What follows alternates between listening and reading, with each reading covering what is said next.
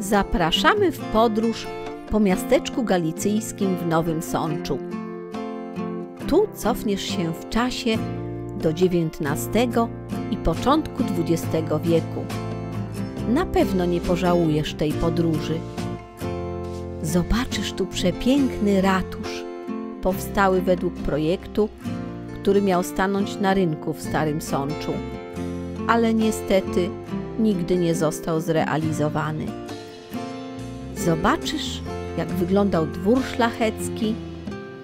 Obiekt ten był kiedyś w Łososinie Górnej. Z kolei w rekonstruowanym budynku ze Starego Sącza trafisz do atelier fotografa i pracowni zegarmistrza. Dostaniesz się do pracowni garncarza i będziesz podziwiać prawdziwe dzieła sztuki wykonane z glinki.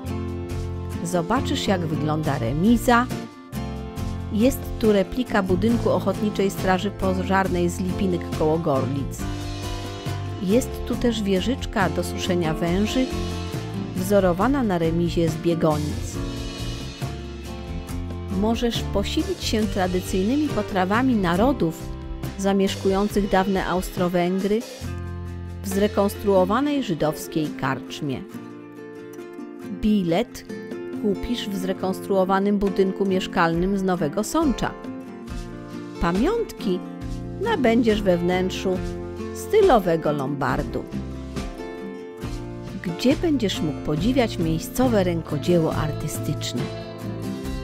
Zobaczysz też kapliczkę świętego Floriana, która jest wzorowana na kapliczce z Zakliczyna. Zatrzymasz się przy studni miejskiej, podobnej do tej, która jest na rynku w Starym Sączu.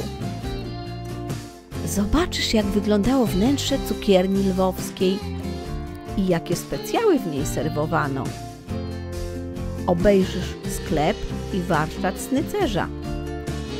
Będziesz mógł podziwiać misterne rzeźbienia w drewnie. Zobaczysz, jak wyglądał urząd pocztowy z okresu późnej monarchii austro-węgierskiej, urządzony w budynku rekonstrukcji z Lipnicy murowanej. Możesz trafić też do budynku żandarmerii w zrekonstruowanym budynku z Zakliczyna. Aktualnie budynek jest zajmowany przez ochronę obiektu.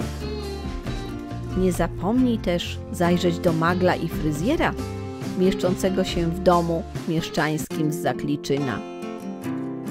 Obejrzyj też kapliczkę świętego Jana Nepomucena, wzorowaną na kapliczce z Czchowa. Nie pomiń też budynku, w którym mieści się apteka i gabinet sadysty, czyli dentysty. Te pomieszczenia na pewno zrobią na tobie duże wrażenie. Drogi podróżniku i odkrywco, wstąp też do sklepu kolonialnego. Zdziwisz się, jak dowiesz się, jakie produkty były znane i popularne w XIX wieku i nic nie straciły na aktualności do dnia dzisiejszego. Prawdziwe perły odkryjesz w Galerii Paszyńskiej, gdzie będziesz mógł podziwiać malarstwo na szkle i współczesną rzeźbę ludową. Zobaczysz tam dzieła artystów amatorów z Ośrodka Sztuki Ludowej w Paszynie.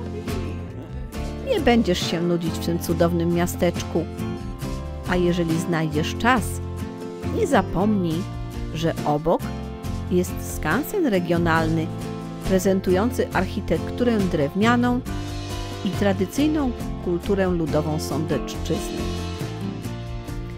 Jest tu tak klimatycznie i wspaniale, że nie można tego miejsca pominąć w swoich planach odkrywania Polski. To dziedzictwo naszych przodków i nasza historia, chociaż bolesna, bo przypominająca o zaborach. Mamy nadzieję, że każdy odnajdzie tu coś dla siebie. Poszczególne obiekty omówimy szczegółowiej w kolejnych filmikach.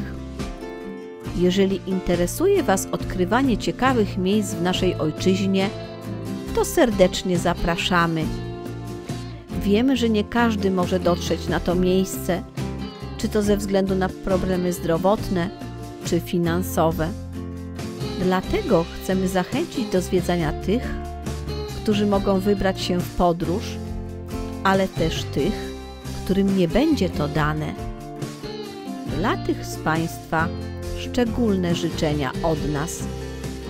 Zdrowia i radości z oglądania filmików naszymi oczyma. Pozdrawiamy. Chcesz dowiedzieć się więcej? Zapraszam do oglądania kolejnych filmików i subskrybowania naszego kanału.